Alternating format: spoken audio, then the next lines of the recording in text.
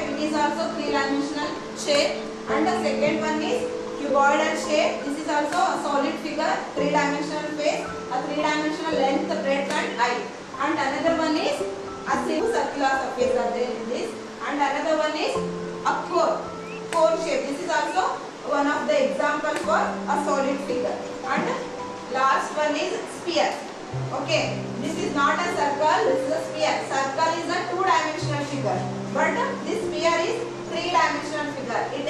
space inside. It occupies some space. That's why it is a three dimensional figure figure of cuboid. Okay? Then the properties of cuboid is it has a 3 4 5 6 it just means the line that joins together at the corner of the surface of the given shape. This is the cuboidal shape right? This edges this edges is 3 4 5 6 6 1 six, seven, eight, nine, ten. Below one, eleven, twelve. How many edges are there? Just and vertices are eight. Understood. Thank you.